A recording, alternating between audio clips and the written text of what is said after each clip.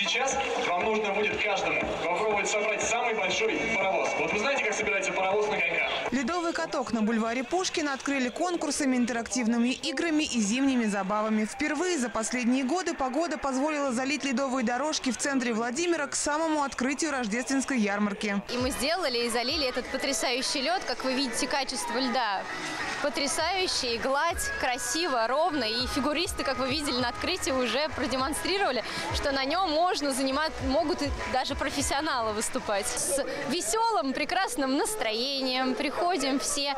Так как можно брать в прокат конечки, так можно и со своими коньками приходить.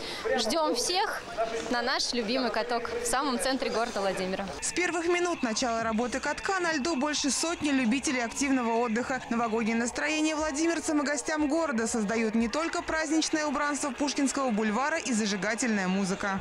У нас тут супер вкусные печеньки. Кроме того, что тут зажигательная музыка, мы предлагаем всем гостям очень вкусные печеньки для хорошего настроения. Все очень здорово, красиво. Вот. Немножко прохладно, ничего, мы все греемся.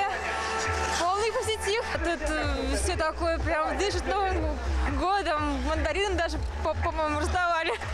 Юлия на коньки встала впервые. Говорит, в такой атмосфере хватило и получаса, чтобы научиться уверенно стоять на ногах и прокатиться по ледовым дорожкам. И я просто в восторге. Этот, ну, прям Новый год стал чувствоваться. И, то есть, ну, такое настроение предновогоднее, потому что, ну, вот только недавно, как бы я не стала на коньках, и я падала, и я понимаю, что я уже научилась за каких-то 30 минут, ну, хоть как-то, но кататься. Мне очень, ну, как бы нравится. И обстановка такая хорошая, все помогают, поддерживают. В выходные и праздничные дни каток будет работать с 11 утра и до 10 вечера с часовым техническим перерывом с 16 до 17 часов. 31 декабря покататься на коньках в центре города можно будет с 11 утра до 8 вечера. Много сюрпризов ждет любителей активного отдыха в саму новогоднюю ночь. Покататься в свете праздничных огней владимирцев и гостей города приглашают с часа ночи и до 4 утра. Новогоднюю ночь, конечно же, будут масса конкурсов интересных, будет зажигательная музыка, будет прекрасное настроение. И я думаю, что все жители нашего города придут на наш прекрасный каток. Стоимость билета на каток 20 рублей. Для детей до 18 лет и студентов вход бесплатный. В управлении по делам молодежи просят обратить особое внимание на технику безопасности. Детям до 10 лет можно выходить на лед только в сопровождении взрослых и желательно в защитных шлемах. На ледовых дорожках работает специальная зона для новичков. Кстати, научиться кататься на коньках всем желающим помогают волонтеры. Мы следим за порядком, а